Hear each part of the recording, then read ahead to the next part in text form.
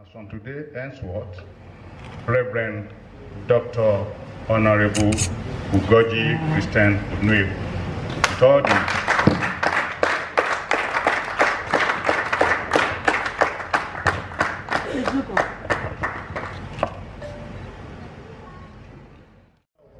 and that I will discharge my duties without fear or favor and that I will discharge my duties without fear or favor throughout my tenure. Throughout my tenure. I will also discharge my duties faithfully and I will strive to preserve the fundamental objectives of the university. And I will also discharge my duties faithfully and I will strive to preserve the fundamental objectives of the university I will not allow my personal interest to jeopardize the functions attached to the office. and that I will not allow my personal interest to jeopardize the functions attached to the office. So help me God. So help me God.